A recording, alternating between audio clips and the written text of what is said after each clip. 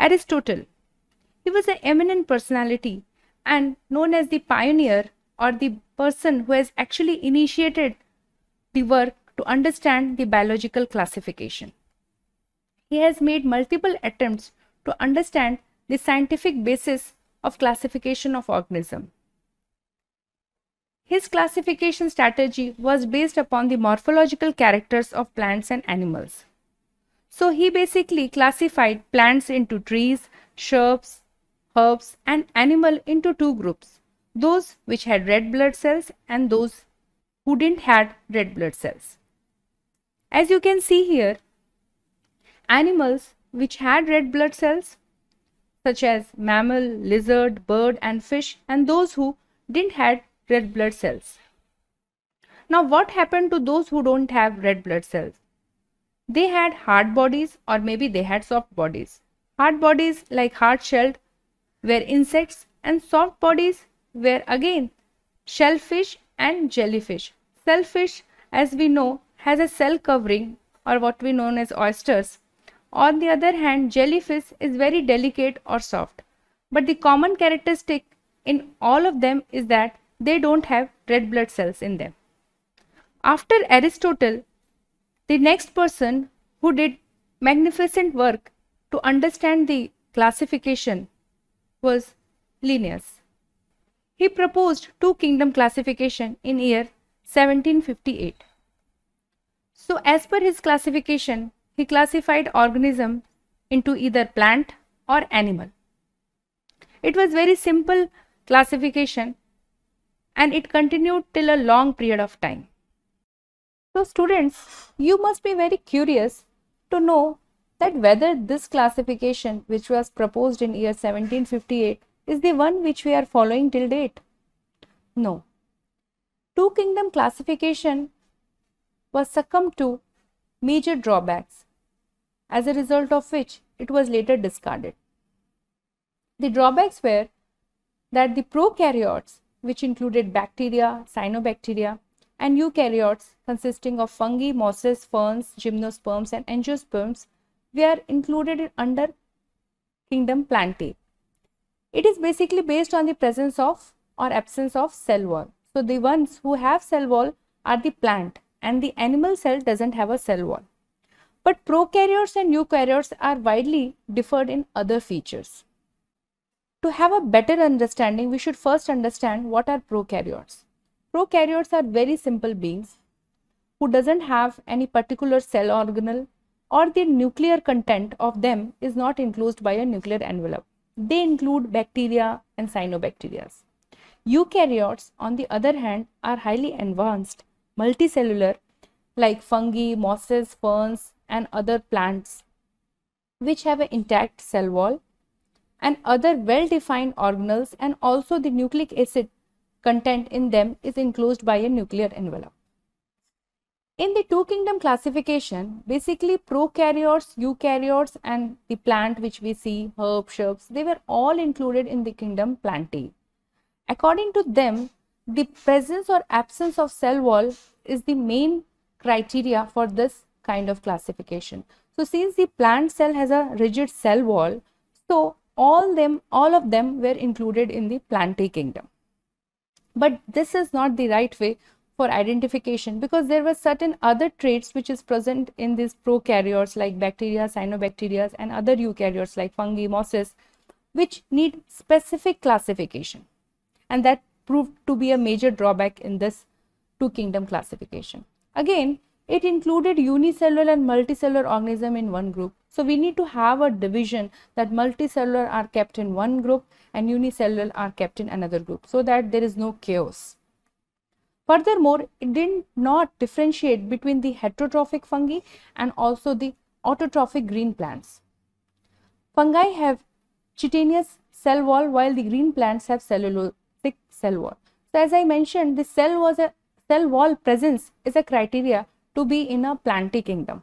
But cell wall content, that is the cell wall composition, is a major factor. So sometimes the cell wall is made up of chitinous material, that is in case of fungi. However, in plant cells, it is made up of cellulose. So this also created lot of variation and confusion. So basically, this system did not distinguish between eukaryotes and prokaryotes, unicellular and multicellular organism, and photosynthetic and non-photosynthetic organisms. That's why this kind of classification system was discarded. Next came the five kingdom classification. Five kingdom classification was proposed by Whittaker in 1969. So herein he went into little deeper classification and he included Monera, Protista, fungi, plantae and animalia. Herein, as in the previous classification, which was just based upon the presence of cell wall or the morphological characteristics, these classification system, which was proposed by Whittaker, that is the five kingdom classification, was bit more advanced and more specific. It considered the cell structure, thallus organization, thallus is present in plants and fungi, mode of nutrition, how they are synthesizing their food. That means whether they are autotrophic. Autotrophic means those who can generate their own food using sunlight, water like the plants. Or they are heterotrophic. That is, they are dependent upon other organism for their food habits. For example, parasites. The parasites are the ones who are who use the other animals and derive nutrition from them. And also they considered other characteristics such as reproduction and phylogenetic relationship. The word phylogenetic relationship means the study of ancestral origin. So, a bacteria, for instance, has evolved to a certain extent, but we should know who were the ancestral uh, bacteria from which that is derived through a process of gradual evolution and has reached to a final stage, which is right now we are seeing So, these are phylogenetic relationship, reproduction, the food habits, the mode of reproduction, the nutrition, thallus organization, cell structure, all these criteria were considered while going for this five kingdom classification. So as per this five kingdom classification, the organisms were divided into five kingdoms. First one is kingdom Monera, then comes the kingdom Protista, followed by kingdom Fungi, then kingdom Plantae and last but not the least is kingdom Animalia which we had heard in our previous discussion as well. Now let's have a gross look on the various characteristic features which are present in each of these groups. So on one side you can see the name of this particular group Monera, Protista, fungi, plantae, animalia and other side is mentioned are the various characteristics or attributes because of which they are said to be so. So when we come to cell type, the Monera are the ones who are prokaryotic. And prokaryotic, as I already told you, they are very simple beings without a nuclear envelope, without any cell organelle. You can imagine them as a one cabin room the nuclear content is in the cytosol itself and there is no organelle. They're very simplified organism present in our system. The cell wall composition of Monera includes polysaccharides plus amino acids. It is composed of a mixture of polysaccharides and amino acids. As I already discussed that nuclear membrane in prokaryotes or moneras is absent. Body organization, they are cellular cellular means single celled beings. They are single celled beings. And what is the mode of nutrition? Mode of nutrition in them is autotrophic. Autotrophic means photosynthetic or they can be chemosynthetic. Photosynthetic means they use the sunlight energy to derive food from them and chemosynthetic means they use chemical energy to derive food. Heterotrophic, they can be saprophytes. Saprophytes are those who derive energy or food from the dead or debris. And parasites are those who have the tendency to make others prey and then derive nutrition from them. Similarly, if we go to Protista, Protista are eukaryotic. They are not prokaryotic. So eukaryotic over here means that they are developed. They are multicellular. They have intact nuclear envelope. They have other cell organelles which are needed for advanced functioning like they have mitochondria which is the powerhouse of the cell they have chloroplast which is needed to for the photosynthesis to happen. Then they have other organelles, they have a DNA repair system, they are advanced than the prokaryotes. Cell wall, cell wall is present in some and maybe present not present in others. So it is not a fixed criteria the presence of cell wall. Nuclear membrane, they have an intact nuclear membrane. Body organization, they are cellular. Again, mode of nutrition can be autotrophic as well as heterotrophic. Next, coming to fungi. Fungi are basically eukaryotic. They have a cell wall, but which is not made up of cellulose, that is made up of chitin. Similarly, nuclear membrane is present. Body organization can be multicellular or loosely held with tissue. Then they can be heterotrophic as well as you know, which consist of saprophytic as well as parasitic in nature. Plantae, on the other hand, are eukaryotic. This they have a well-defined cell wall which is made up of cellulose. Plantae, which includes all the plants which we see, herbs, shrubs. Then nuclear membrane is present. They have a well-defined tissues and organ system. Mode of nutrition is autotrophic. They derive energy from sunlight. And animalia Again, they are eukaryotic as well, but they don't have cell wall. So animal cells, they don't have a cell wall. They have a cell membrane, which is semi-permeable in nature. Nuclear membrane, in this case, is present. They have an intact DNA content, which is enveloped in a nuclear membrane.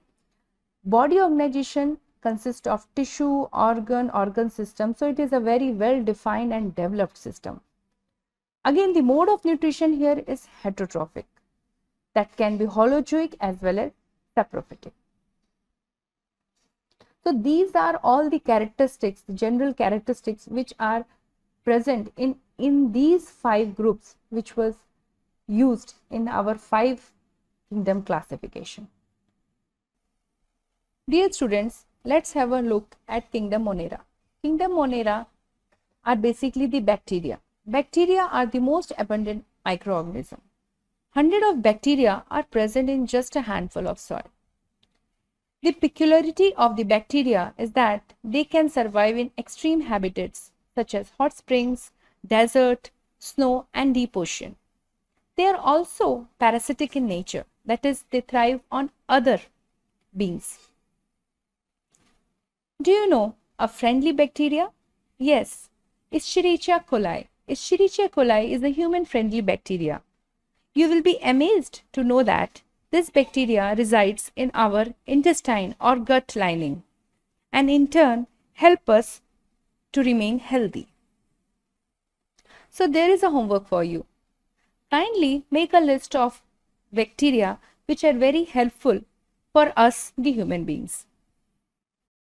Now let's understand the various shapes and structure of bacteria. Bacteria can be in cocci shaped, that is spherical. Bacteria can be bacillus shaped, that is rod shaped. Bacteria can even be a comma shaped and also they can be spiral in structure. It will be good for our understanding that we at least know names of few bacteria in each category. I will help you with one of them. Cocci or spherical shaped bacteria. One of these spherical shaped bacteria is Staphylococcus and also Streptococcus. Streptococcus pneumoniae causes pneumonia. It's a deadly disease. You will be amazed and will love to read about many bacteria as such. Therefore, please make a list of bacteria and the various implication they have on us. Let's now try to understand the structure of a bacteria. As you can see in the figure, the bacteria over here is a rod-shaped one. It is surrounded by a capsule. Capsule is a protective layer formed on the bacteria which helps the bacteria to survive in harsh condition. Although the structure of bacteria are very very simple, but they show a complex behavior and a very huge metabolic diversity. Some bacteria, as we already discussed, are autotrophic, that is, they synthesize food from inorganic substrate. Majority of them are though heterotrophs, that is, they do not synthesize the food but are dependent upon other organism on or other dead organic matter for food. So when it comes to dead organic matter, they are known as saprophytes or when they are dependent on other organism to derive their food, they are known as parasitic. As you can see in this structure, the first one covering of the bacteria is known as capsule. The capsule is followed by cell wall. Cell wall is the rigid covering which again protects the bacteria from harsh condition. Thereafter, it has a plasma membrane envelope. Cytoplasm of bacteria is very very simple. Bacteria cytoplasm has a nuclear DNA without any organelles. It too has ribosomes and plasmid. Plasmid are the extra chromosomal DNA. It is not the DNA which is used for replication. The plasmid utility is that it provides survival advantage to the bacteria, such as it confers various important traits of antibiotic resistance. They also have some pili which helps for anchorage. So this was the basic overview about bacteria, their morphology, their structure. Moving ahead, let's have a look at the reproduction in bacteria. They are very simple beings, so is the reproduction. Reproduction in bacteria occurs primarily by fission. Fission here is a binary fission. Binary fission means division into two. It is a very simple process wherein the bacteria cells elongate and then divide into two. Also, they form spores. Now, what are these spores? Spores are a dormant state of bacteria which helps it to survive in harsh climatic condition. Once the climatic condition is subsided, then they germinate and form again a bacteria. There is another sort of sexual reproduction which is adopted by DNA transfer from one bacterium to another bacterium. This is an advanced way for them to undergo reproduction. So, we can total summarize our entire discussion about this bacteria that they are very simple beings. They are prokaryotic in nature. They are cellular. They can be autotrophic. They can be heterotrophic. Their reproduction is simple by process such as fission, and spore formation predominantly. And the most important criteria is that they are highly abundant in nature. They are found everywhere. Some are very friendly and very good for us. However, there are parasitic bacteria as well.